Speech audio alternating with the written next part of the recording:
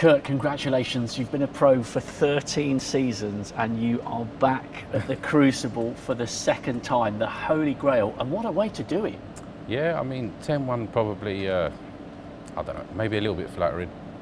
Matt didn't play very well today, struggled quite a bit. But I managed to just pounce on him at the right times. I made a few nice breaks along the way. And uh, obviously, when I come out 8 1 tonight, you never know in snooker. All of a sudden, it's 8 5 at the interval. I just thought, look, if you get a chance, you just got to finish it off as quick as possible. And you must have been aware of the confidence he would have brought into this match as a result of a, a, really good win over Allan Taylor, who was potting balls off the lampshades after getting back on tour and knocking in a 1-4-5. Yeah. That was a good win for Matt Selt coming it, into the last round of qualifiers. Allan, Allan, was in good form, wasn't yeah, he? Yeah. I mean, I think he, he won the challenge tour thing or whatever that was to get his tour card yes.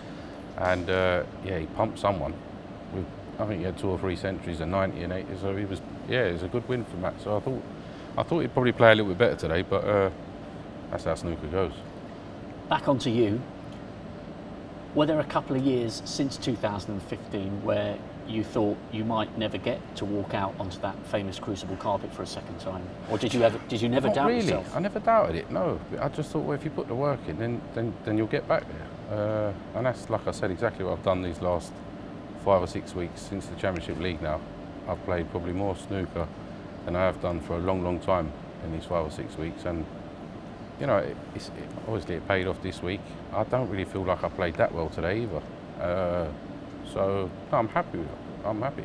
And, and looking back at the match you played against Mark Selby in 2015, you came back from something like 7-3 down and took him all the way to a decider. So you, you've shown already that you're not overawed by the crucible stage or the opponent who might be sitting in the other chair? No, I, I enjoy that kind of challenge. I really do. I thrive on those sort of moments. Hopefully I, I can produce some of my, my best snooker whenever I play next week or, or whenever it is.